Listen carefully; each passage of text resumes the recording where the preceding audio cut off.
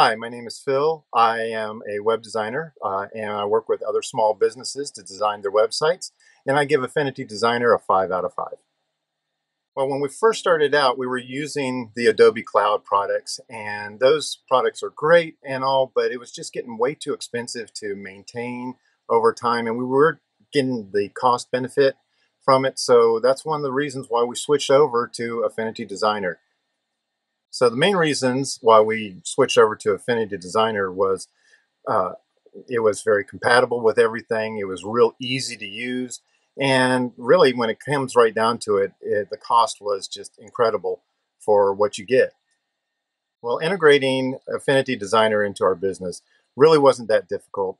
There was those little problems when you first start out learning how to load up your old files and converting them into the new format. But uh, after that, all the tools within the, the program were almost exactly the same as Adobe Illustrator, so we didn't have any any downtime in converting and just starting to use Affinity Designer. My recommendation is to just go ahead and switch over to Affinity Designer. When I first started uh, looking at this process, I was kind of scared about uh, being able to convert files and all that, and it was just so easy, so simple. It's just it's just so inexpensive. You're you're just going to like using it, and uh, it's just not going to be that big of an impact to your business.